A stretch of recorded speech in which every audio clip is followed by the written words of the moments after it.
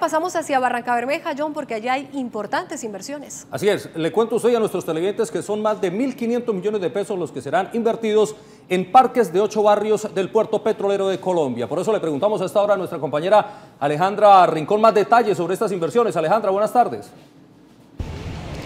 Hola, muy buenas tardes para todos ustedes y avanzan un 66% en la instalación de los parques infantiles y los gimnasios biosaludables en el puerto petrolero. Un corregimiento también ya ha sido beneficiario por parte del gobierno local. Más de 1.500 millones han sido invertidos precisamente para garantizar esta vida saludable a todos los ciudadanos y por supuesto darles garantías para que puedan mejorar su calidad de vida. Esta es la información más importante que se registra en el puerto petrolero. Continúen ustedes con más Oriente Noticias. Muy buenas tardes. Canal Pro com